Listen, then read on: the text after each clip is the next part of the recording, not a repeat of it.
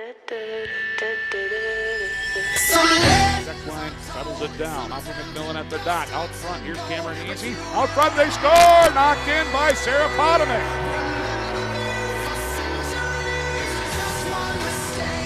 Puck deflected into the air.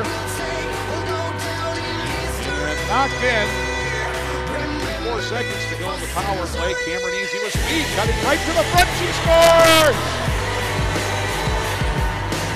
Cameranesi, back-to-back power play goals for Minnesota.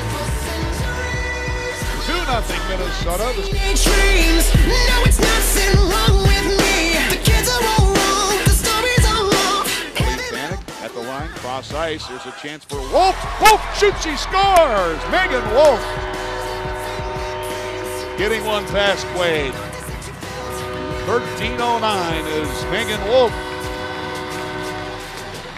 Her third goal this season.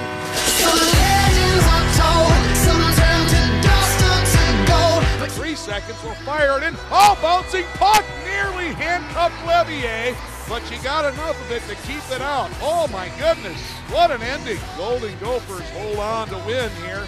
The final score from Ridder Arena this afternoon. Golden Gophers 3, MSU Mankato 2.